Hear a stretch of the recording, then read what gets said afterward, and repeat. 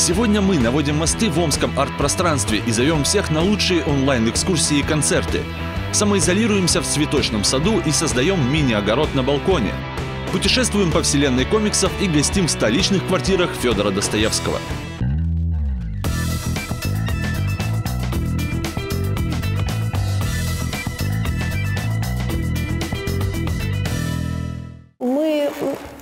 Можем смотреть на эту картину как э, э, человек такой вот э, холодный к искусству и говорить, ну, какие-то у них щеки красные, какие-то они смешные, художник не умеет писать, а что это зеленые пятна у них на лицах. А с другой стороны, мы можем посмотреть это через вот такие вот очки исторического контекста. Научиться замечать многослойность искусства теперь может каждый, не выходя из комнаты. Телеканал «Продвижение» совместно с Министерством культуры Омской области и региональными партнерами, сайтом «Омск здесь» и «Радио Сибирь» запустили онлайн-марафон «Смотри дома». Это серия лекций, виртуальных экскурсий, концертов и мастер-классов. Все для того, чтобы не скучно пережить самоизоляцию. Онлайн-марафон «Смотри дома» – это уникальная платформа, где все желающие амичи и не только амичи а, могут побывать а, в музеях, куда мы не смогли попасть в обычные дни или не успели, побывать за кулисами театров наших омских и послушать и посмотреть на концерт, а, посетить концерты омских исполнителей – в которых а, мы по каким-то причинам не дошли, не смогли а, сделать это в обычные будние дни. От специй до трусиков. Ответы на самые неожиданные вопросы мировой культуры знает сторителлер Галина Черба. Цикл ее авторских видеолекций посвящен истории мировой живописи, архитектуры и скульптуры. Так, за 40 минут вы узнаете, почему в образе Мадонны Рафаэля так много чувственности и как Эдуард Мане разрушил репутацию своей музы. Пикник, нужно сказать, весьма пикантного содержания. На пикантность этого пикника указывает маленькая зеленая лягушечка, которая находится в дальнем углу от меня. Ее не так просто рассмотреть. Это такая маленькая зашифрованная послание Мане. Дело в том, что девушек облегченного поведения в это время называли или цапельки, или лягушки. И вот как раз это то самое послание. Викторина Мюран сыграла девушку легкого поведения в компании двух одетых мужчин. Тайна черного квадрата Малевича, живопись средневековья, возрождения и нового времени. Живые, честные и неожиданные истории творцов и их произведений. Всего в цикле больше 10 лекций и никакого академического занудства. История искусства рассказана самым доступным языком. В это время фотошопили художники просто отчаянные. Инстаграм – жалкие дети, честное слово. Вы только вглядитесь в спину этой дамы. Мне кажется, что у нее минимум 7 лишних позвонков в пояснице. У нее каким-то образом необычно удлинена рука. Если она встанет, она будет ниже колена. Отправиться на прогулку по городским арт-пространствам или по мостам Омска во время самоизоляции можно. Гуляем по городу вдоль и поперек в рамках онлайн-экскурсий. Почему юбилейный мост получил славу французского, но при этом напоминал питерский? Городские архитектурные доминанты имеют множество секретов. И самое время узнать родной город чуть ближе. Мост был необычным, ведь он был раздвижным, причем не так, как мы привыкли в Санкт-Петербурге. Одна его часть отодвигалась, открывая ворота для водного транспорта. Перемещаемся в Соединенные Штаты Сибири, на самую яркую городскую окраину, необычное арт-пространство – место для своих. Беднотаун – это жилой дом и мастерская Дамира Муратова. Здесь можно и посмотреть работы художника, и рассмотреть пейзаж жизни его семьи наша легендарная стена. А, мы называем ее Гауди для бедных. Друзья и знакомые нам привозили разную плитку керамическую, разные объекты из других городов и стран в подарок. Это все складировалось, а, в том числе и тут керамика и старые разные предметы, которые впитывали в себя время, но которые было а, тяжело выбросить. И это все пошло в стены сюда. И то здесь можно даже восстановить какие-то а, периоды моего детства, жизни, на, моей отца. Идем дальше. Омские музеи и театры, так ли хорошо мы их знаем? Телеканал «Продвижение» совместно с Министерством культуры Омской области готовы приоткрыть завесу тайны и показать изнанку культурной жизни региона. Омская филармония откроет закулисье концертного и органного залов. Это самая главная идея – получать что-то новое, дать возможность себе уже не смотреть сериалы, не смотреть фильмы, не готовить, не убирать квартиру, а какую-то свою духовную пищу получать. А плюс это контент, который, возможно, мы еще какое-то время не увидим. Никто не знает, когда закончится режим самоизоляции, как его долго могут продлить, попадем ли мы в любимые омские музеи, попадем ли мы в наши любимые театры, непонятно. Поэтому мы такую возможность зрителю даем сейчас. Оказаться на концерте, не выходя из дома, легко. Телеканал «Продвижение» и «Радио Сибирь» в Омске подготовили серию камерных концертов. Темная ночь только пули свистят по степи. Более 60 тысяч пользователей, не выходя из дома, уже посмотрели выступление экс-гитариста гражданской обороны Александра Чеснокова и автора хитов Юрия Шатунова Андрея Картавцева. Дуэта Яры энд Джуз и Алексея Гализдры. В афише группа «Стерео», «Джаз Момент» и многие другие омские исполнители. В концертной программе под хэштегом «Прослушай» с акустической программой выступит и фолк-группа «Нитленд», постоянные участники крупнейших международных фестивалей.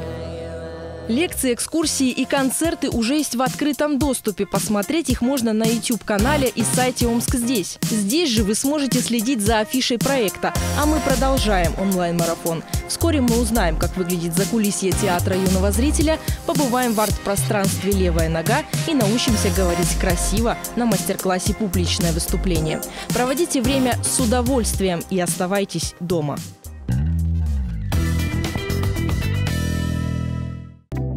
Радуется вынужденному домоседству, как бороться с прокрастинацией и каким спортом можно заняться дома. Пообщавшись с известными мечами, мы узнали, как они проводят свое свободное время в режиме самоизоляции. Наконец-то у меня пришли мысли в порядок. Я поняла, что я хочу вообще, какие у меня цели, как мне двигаться дальше. Мы развлекаемся с девочками, с моими и мы делаем съемки по фейстайму. У меня всегда все друзья жили в разных городах и странах, и сейчас это еще больше нас сблизило, мы стали чаще созваниваться по видеосвязи, болтать. У нас собака порода Акита Ину, его зовут Ваки, полное имя Ваки Заси, и он сейчас больше всех радуется карантину, я думаю, самоизоляции, потому что мы просто каждый день вместе с ним, всем желаю хорошего карантина. Надеюсь, что у нас будет меньше заболевших людей и надеюсь, что все серьезно к этому относятся и действительно сидят дома в основном, никуда не выбираются. В данный момент я нахожусь в Польше, в городе Вроцлав. Я не живу в Омске уже 10 лет, но у меня все равно Сибирь головного мозга, потому что вся моя семья живет в Омске. Я стараюсь часто приезжать. На карантине я стараюсь писать магистрскую диссертацию, но мне очень плохо получается бороться с э, прокрастинацией. Э, я спасаюсь тем, что каждое утро я делаю йогу. И для этого не нужно, в общем-то, никакого специального оборудования, нужен только коврик и удобная одежда. Есть такая ответственность, когда ты выкладываешь это в социальные сети каждое утро. Ты как бы ну, не можешь просто зафакапить, и тебе нужно обязательно утром проснуться и сделать йогу лучше остаться дома. Вот, вот, такой, вот такой, наверное, совет у меня. Очень банальный, но я думаю, что если все будут придерживаться правил, то ситуация должна улучшиться в ближайшее время. Уверен на сто процентов, что если поискать в закромах у каждого ну, нормального гражданина Российской Федерации должна найтись гиря.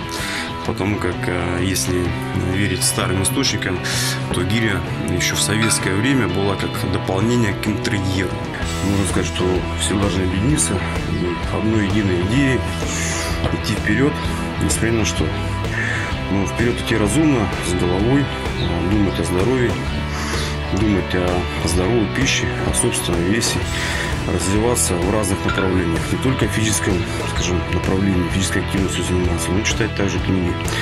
А, кому-то можно заняться изучением иностранных языков, подтянуть какие-то старые долги по каким-то хвостам, предметам, ну и так далее. Пока за окном весна только раскрашивает все в нежные зеленые краски, на этом балконе в Копенгагене уже вовсю зеленеет листва. Хозяйка прямо здесь решила развести мини-огород. Благо времени на неожиданных каникулах много. И чего только на этой грядке нет. И сельдерей, и брокколи, и морковь. Всем привет из Копенгагена. Сегодня вам расскажем, как в домашних условиях вырастить огород на балконе. Мы начнем с маленького пастернака. Он уже немножечко пророс. Отрезаем заднюю часть. Сажаем наш маленький огородик. Не забудьте обильно полить. Здесь, друзья мои, посадила брокколи. Отрезала также маленький кусочек брокколи и посадила здесь в огороде. А это, между прочим, сельдерей, который посадила в прошлом году. Он пережил зиму, и он уже какой большой и красивый. Самое интересное начнется сейчас. Я вам буду показывать, как растить чили в домашних условиях. Зернышки были замочены заранее на пару дней в салфеточке. Они начали даже уже прорастать. Можно прямо несколько зернышек кинуть одновременно. Базилик, который мы купили в супермаркете. Обрежем еще оставшиеся съедобные веточки. А вот то, что осталось, корешочки, мы посадим здесь. Сажайте, дерзайте и наслаждайтесь. Не болейте. Всем пока. Такое развлечение и время занимает, и глаз радует, да и на столе всегда свежая зелень. Кстати, не только летом, но и зимой. Правда, в Дании это время года не сравнится с сибирскими морозами, поэтому омские перцы и баклажаны растут в тепличных домашних условиях, на подоконнике, ждут своего часа, чтобы отправиться на грядку. Лук, сельдерей, базилик. Даже на подоконнике можно круглый год получать урожай, независимо от обстановки за окном. А это мой огород на подоконнике, болгарский перец. Данный экземпляр уже третий из семьи. Два его старших брата были успешно употреблены в пищу. Начиналось все с нечаянно выплюнутой косточки и посаженной совершенно волшебным образом в другое растение. От насущного к прекрасному созерцание цветения сродни медитации, успокаивает и настраивает на позитивный лад. Поэтому в доме нужно иметь хотя бы один цветок.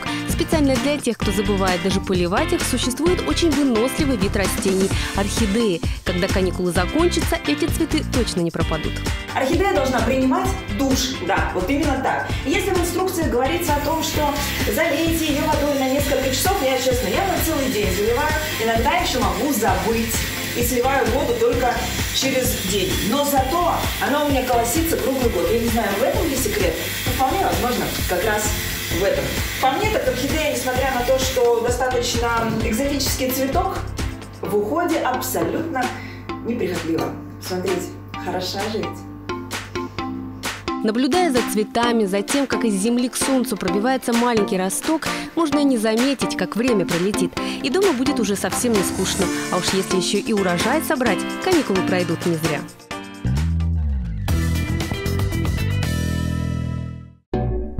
Как играть мини-спектакли дома и придумывать идеи для новых пьес, а также общаться со зрителями онлайн, нам рассказал актер Пятого театра Станислав Плешенко.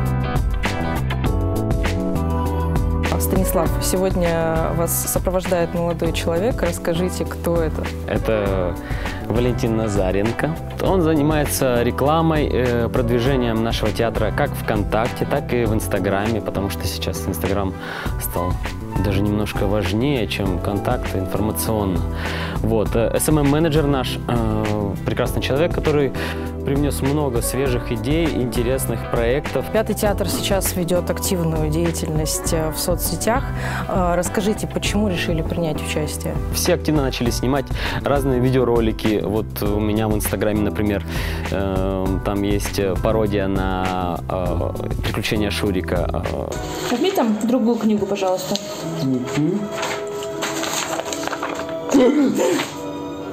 Ты чего? Договор по ипотеке. Я переделал немножко идею. Ну, мне внезапно это родилось. Вот просто родилось и все. Потом еще несколько идей разных там по поводу шутки про мою бороду, потому что у меня детские сказки, я не могу отрастить бороду, потому что, ну, проходит неделя, выходные, и ты бреешься. И, то есть, и там шутка про это была. И это всех затянуло, всем понравилось. Потом э, была идея предложена Валентином, а давайте сделаем э, читку. Мы говорим, что за читка? Ну, что читать будем? И вот они предложили идею. Это комментарии зрителей. Они берут их в свои руки, и начинает из этого создавать э, э, произведение. Внесли туда идею, э, мы преподнесли им э, свои образы. Э, я был там тренер Борис, это мотиватор э, года 2018, э, человек, который на удаленке э, нашел себе любовь. Каждым движением вы становитесь все моложе и свежее. Возраст не властен над вами. И вот все это общей командной работой, зрители, мы, э, СММ-менеджеры, все-все-все, мы то есть создали такое творение, которое потом зачитали в онлайн-эфире. То есть, по сути, пьеса такая у вас Да, да, да, абсолютно, как бы все есть, смысл есть, э, есть какие-то мотивации у персонажей, э, они чего-то хотят, э, что-то... И в, в этой истории есть также какая-то мораль своеобразная, которая к чему-то приводит. Вот, поэтому как бы, ну, это очень было интересно, смешно, и я не читал заранее, чтобы в процессе мне было, ну, то есть э, неожиданно что-то. После этого родилась идея создать эфир. Именно эфир. Э, все вот артисты, в домашней ламповой обстановке, как вот сейчас мы с вами сидим, просто спокойно общаемся, э, чтобы зрители писали нам одновременно, мы общались с ними, общались между собой. То есть это обще, общее общение такое, не только со зрителем, но и как мы друг с другом, потому что мы тоже никто не видимся. И вот такая идея сейчас у нас пока что есть, еще не ре реализовалась. Как вам кажется, вот такое общение в формате онлайн, когда зрители имеют возможность задавать вам вопросы, э, стирает какую-то грань между зрителем и артистом? И какие вопросы вам задавали? Многие считают, конечно, что есть какой-то барьер между артистом и зрителем. У нас же в работе, ну, артист это не отъем... э, э, точнее, зритель это неотъемлемая часть э, нас, нашего спектакля. Э, не потому, что э, без зрителей у нас не будет дохода или без зрителей у нас не будет внимания к нам и не, нет для кого будет играть. Не в этом плане. Каждый человек, э, каждая единица – это часть этого спектакля мы создаем вместе, мы думаем, так, а как здесь вот, а как тут вот так, зритель как подумает, поймет, не поймет. Мы для них это создаем, и это прекрасно увидеть человека не на сцене в образе, а такой, какой ты есть. Вот глупый, смешной, э, порой творишь какую-то чушь, но и ты такой есть. Вопросы были абсолютно разные. Но в основном были, конечно, э, по поводу того, как мы, э, чем мы занимаемся вне своего театра. Где черпаете вдохновение в эти дни? Я вот сейчас смотрю фильм э, «Половое воспитание». Сериал. Очень ну, интересный, прекрасный сериал. Я не знаю, кто-то, если смотрел, как бы, ну, э, слышали? Очень интересно. И там он много граней всего. Там э, переплетается абсолютно все. И ты сидишь и смотришь этот фильм, такой думаешь, классно, классно сделали и тебя мотивирует сразу что-то сделать самому. Снять пойти, придумать, реализовать. Смотришь другой фильм, оттуда не, не идею, ты не берешь идею оттуда и крадешь ее, а просто тебя мотивирует на что-то. Самоизоляция – это отличный повод посвятить свое свободное время чтению. Поэтому сегодня я расскажу вам о трех книгах, которые претендуют на выбор нашей редакции.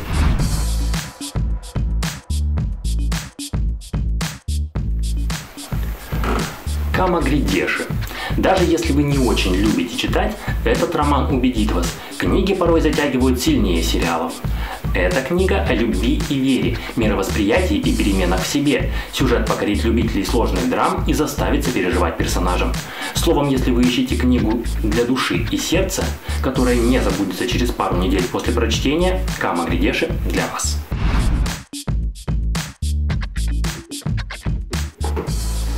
Конце 80-х годов издательство DC Comics решило освежить своих ключевых персонажей.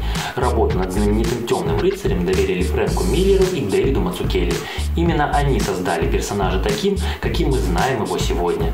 К слову, работая над сценарием к фильму «Бэтмен. Начало», Кристофер Нолан вдохновлялся именно этим комиксом. «Бэтмен. Год первый» — это культовая классика, с которой должен познакомиться каждый любитель комиксов. Следующая книга расскажет вам о 70 тысячах лет человеческой истории. Прочитав «Сапиенс», вы узнаете много интересных теорий о том, как мы из ничем не примечательных животных превратились в хозяев планеты. Главное помните, это научно-популярная литература, и она не дает ответы на все вопросы, а лишь помогает вам их правильно задавать. А вот ответы уже у каждого будут свои.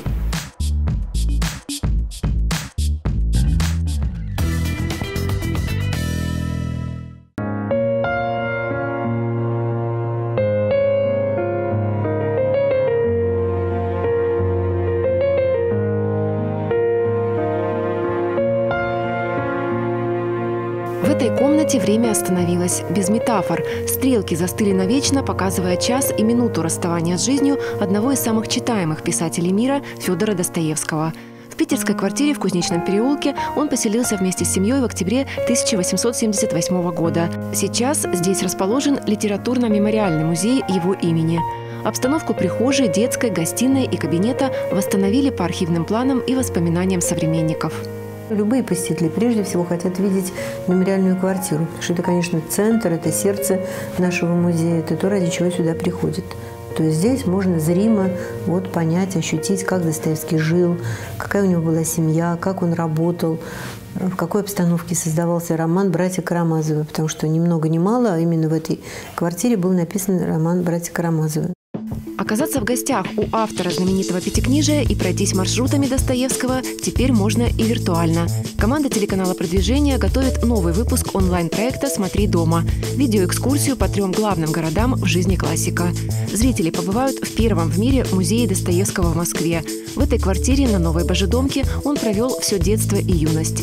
Перенесутся в прошлое и окажутся в Омском остроге, где дворянин и отставной офицер четыре года отбывал каторгу чернорабочим и прогуляются по Петербургу, который стал одним из главных действующих лиц многих произведений писателя. Все творческие взлеты Достоевского так или иначе связаны с Петербургом. Да, здесь он триумфально в 45-46 году вошел в литературу. Сначала в узком литературном кругу, но э, баснословная известность, которую он получил в считанные дни, когда Некрасов приходит к Белинскому с восклицанием «Новый Гоголь явился». Но Петербург – это город, которого Достоевский не любил, э, которого он боялся, и есть на этот счет его признание, но одновременно без которого не мог жить и не мог писать. Вот такое взрывное противоречие. Как выглядят памятники Достоевскому в разных городах мира? Сколько весили кандалы, которые приходилось носить узникам Омского острога? И по какой книге гадал писатель в день своей кончины? Знакомиться с наследием литературного классика и узнавать неожиданные факты его биографии зрители смогут без лекций и учебников в формате живых экскурсий, где каждый экспонат расскажет свою историю. Это уникальные вещи. Это угловой диван и круглый стол. Они находились в 19 веке в доме известного архитектора Андрея Ивановича Штакеншнейдера, где его дочь Елена Андреевна собирала литературный салон. И Достоевский, бывая в этом доме, любил сидеть на этом диване. За этим круглым столом он пил чай с гостями. Экскурсия «Три города Достоевского» стартует в ближайшее воскресенье, 26 апреля, на YouTube-канале «Омск здесь».